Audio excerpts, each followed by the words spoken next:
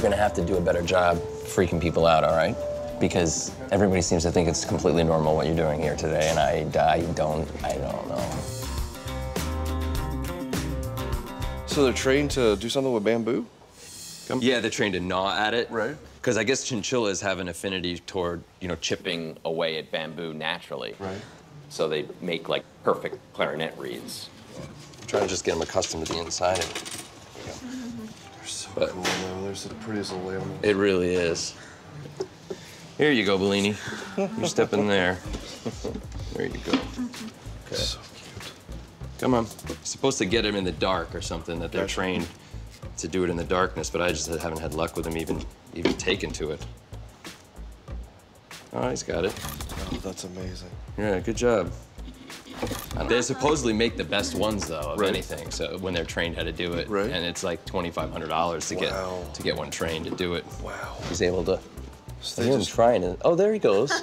oh my God. Oh, that's pretty good. Maybe he's got. I think he's gonna do it. Holy crap. Yeah, that should be a perfect reed. That's their train to make them. Oh. Is that like clarinet size? I would imagine so. yeah, this guy's trained to do clarinet size. He's knocking them out, man. Come on, you can do it. You got it, buddy. Thank you. Oh wow. Wow, he really does like you. Good. There he goes. Look at him popping out. Hey, good. Thank you, buddy. That's great. He's just like handing them to you? Look how exact they are. They so really close. are. Here, hold two of those up. Let me see what the how close are the two. Yeah, let me see. It's just like chipped a little.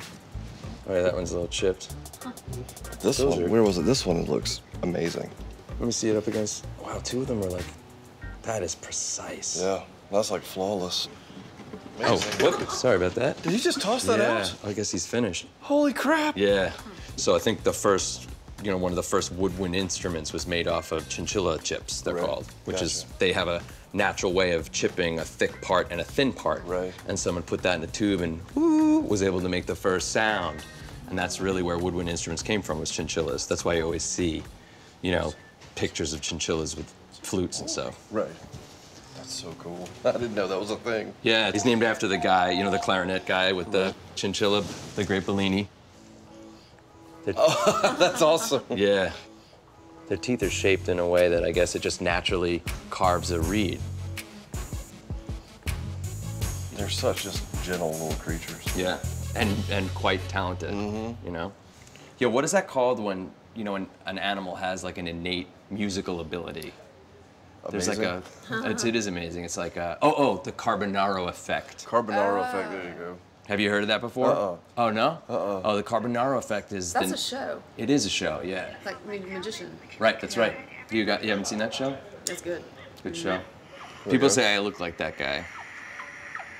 Here's their little. I don't remember what he looks like now. Oh no. He's got short hair. He got I use short hair, yeah, yeah. If I put on a wig, you know, I, it- you know, if that guy put on a wig, he would probably look like me.